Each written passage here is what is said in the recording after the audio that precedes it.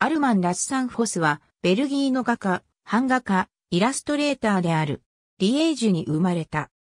何代にもわたって、家具や工芸品を売る店を営む家系で、その仕事を継ぐつもりであったが、ナミュールの中学校に、叔父の家から通っていた時、叔父からベルギーの象徴主義の版画家、フェリシアン・ロップスの版画を与えられてその世界に見せられ、独学で版画の制作を始めた。中学校を卒業した後、家業を手伝い、家具の装飾で働いた。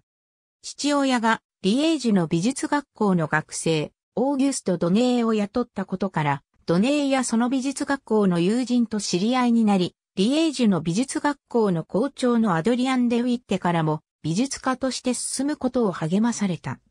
25歳になった時、仕事でパリに出た時、憧れていたフェリシアン・ロップスと会い、友人となり、二人は新しい版画の技法を試みていくことになった。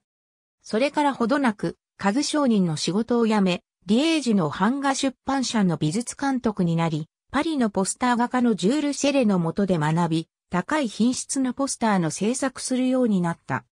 フェリシアン・ロップスとの関係から、象徴主義と関係のある作品を描き、象徴主義の詩人シャルル・ボードレールの詩集、悪の花の挿絵も描いた。1898年にフェリシアン・ロップスが亡くなった後、1900年頃から象徴主義のスタイルから遠ざかり、主に女性像を多く描くようになった。国際的に高い評価を得た。ベルギーのレオポルド勲章を受勲した。ありがとうございます。